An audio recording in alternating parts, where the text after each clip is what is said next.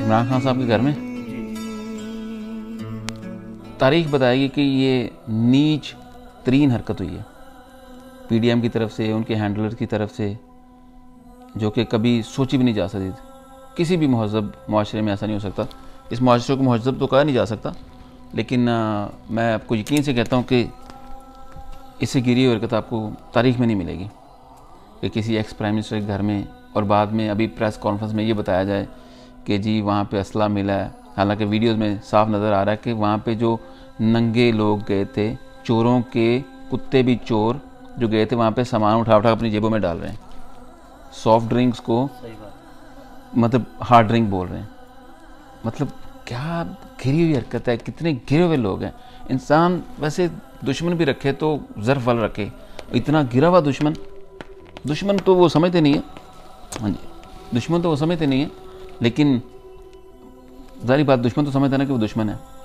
वजह क्या है कि उनकी पचहत्तर सालों की नाजायज़ हकूमत या कब्ज़ा, अब उस पर आँच आने का वक्त है, वो सल्तनत टूटने का वक्त है, गिरने का वक्त है तो ख़तरा तो है उनको। और यकीनन ख़तरा रहेगा भी।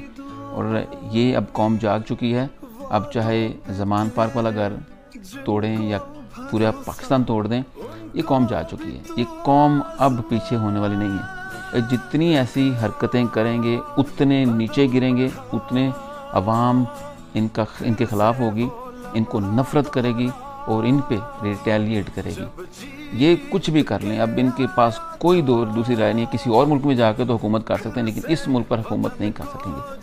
सुकून से नहीं रह पाएँगे। ये जैसी ऐसी चीज़ चीज़ परकदे करेंगे, उतना ही ये डी फेम होंगे, उतना ही लोग इनसे नफ़रत करेंगे, बल्कि अंदर के लोग जो इदारे हैं, वो भी इनसे नफ़रत करेंगे, क्योंकि एक चीज़ की हद होती है।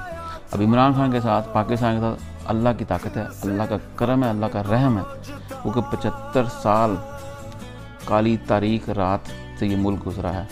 तो अल्लाह ताला किसी को भी इतनी देर आजमाता नहीं है। पचहत्तर सालों के बाद, अब आवाम को भी होश आ गया। अल्लाह ताला ने उनके दिलों में रहम डाल दिया है, सुकून डाल दिया है, तालीम डाल दी है, ख़ुद से। दुआएँ माओं की, बहनों की, बेटियों की, ये जो मस्किन लोग हैं, उनकी दुआएँ रंग लाई हैं। इन शज़ीम ये कौम हकीकी आज़ादी लेकर रहेगी। इस तरह की कुर्बानियाँ और भी हो सकती हैं, लेकिन इन शज़ीम ये जो काले चेहरे हैं, इन पर लानत अल्लाह की पड़ेगी। फ़िरौन भी ख़त्म हो गया, शद्दाद भी ख़त्म हो गया यजीद भी ख़त्म हो गया और ये भी ख़त्म होने वाले हैं। इन वक्त बहुत नज़दीक है।